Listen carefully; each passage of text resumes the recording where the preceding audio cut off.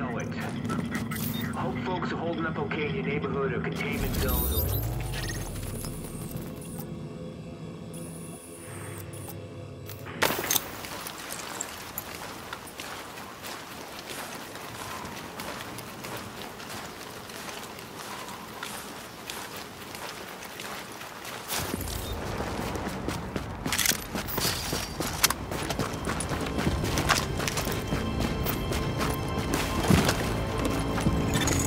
Alert.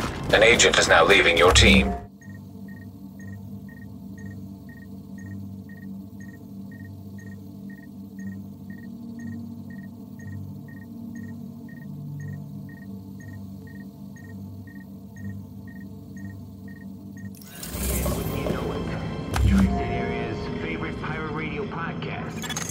Now entering a safe area.